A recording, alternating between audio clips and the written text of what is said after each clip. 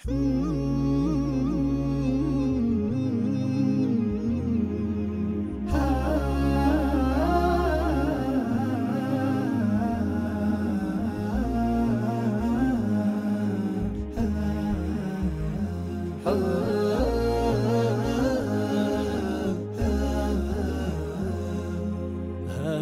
الحكمة نور وبنا وبه الله يسوق المننا صرح من تقوى وأساس صار لمن آواهم وطنا هذه الحكمة نور وبنا وبه الله يسوق المننا صرح من تقوى وأساس صار لمن آواهم وطنا بسم الله يبارك سعيا.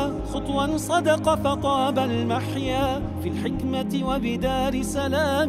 خير أشرق من تنزانيا. تروي ظمآنا وقلوبا وتفرج كالغيث قلوبا تصلح بين الناس وتبني بالخيرات عرا ودروبا. هذه الحكمة نور وبنا وبه الله يسوق المننا صرح من تقوى وأساس صار لمن آواهم وطنا هذه الحكمة نور وبنا وبه الله يسوق المننا صرح من تقوى وأساس صار لمن آواهم وطنا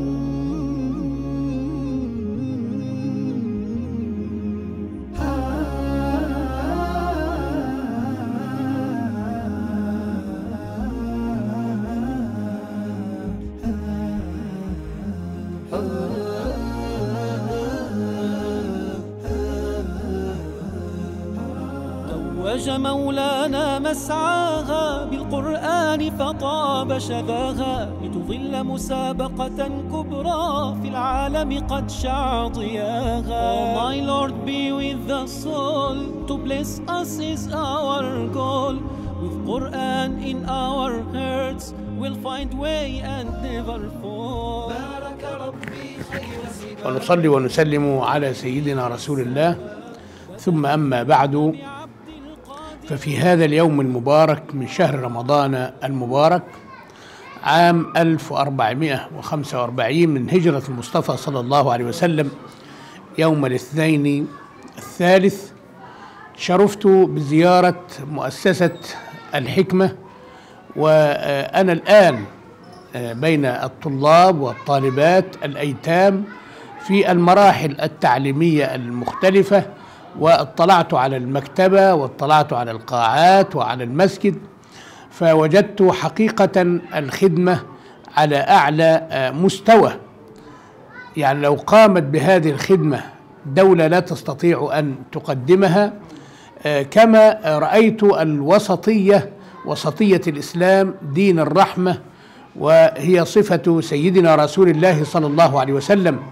التي قصرنا قصرها ربنا سبحانه وتعالى عليه وما أرسلناك إلا رحمة للعالمين. وجدت هذا واقعا عمليا لأني ذهلت حينما رأيت طلابا غير مسلمين داخل هذه المؤسسة ينفق عليهم من أموال المسلمين فكأنني أعيش أيام السلف الصالح رضوان الله عليهم فكل من عاش تحت مظلة الإسلام نعم برحمة الإسلام بغض النظر عن الدين الذي يؤمن به.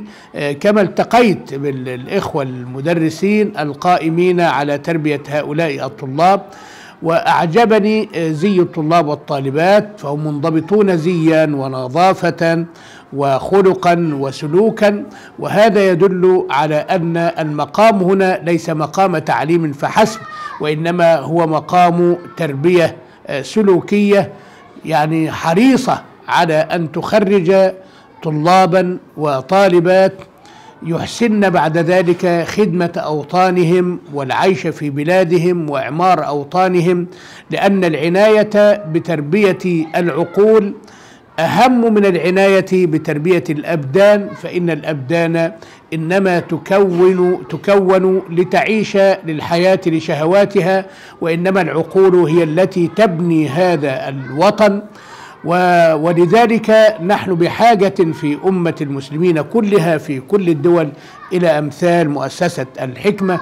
كما أسأل الله تبارك وتعالى أن يبارك في سعي الشيخ الشريف عبد القادر الأهدل وأن يبارك في أعماله وأن يجمع القلوب من حوله وأن يهيئ له رجالا يعينونه على الخير وأن يعينه على حسن الغرس وحسن الإنبات وحسن الإثمار. سائلا الله تبارك وتعالى أن يكتب له أجر ذلك وثوابه في الدنيا والآخرة.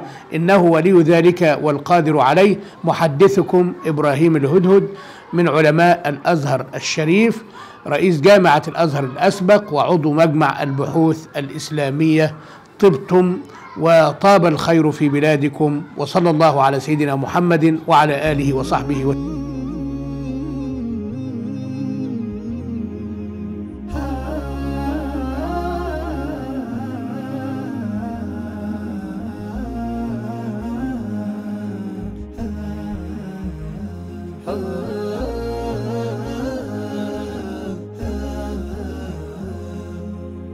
هذه الحكمة نور وبنا وبه الله يسوق المننا هذه الحكمة نور وبنا وبه الله يسوق المننا صرح من تقوى وأساس صار لمن آواهم وطنا.